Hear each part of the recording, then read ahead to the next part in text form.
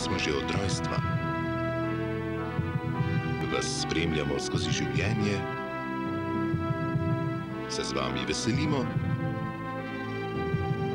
in vam pomagamo, ko mislite, da vam je najteže. Popolno zaupanje.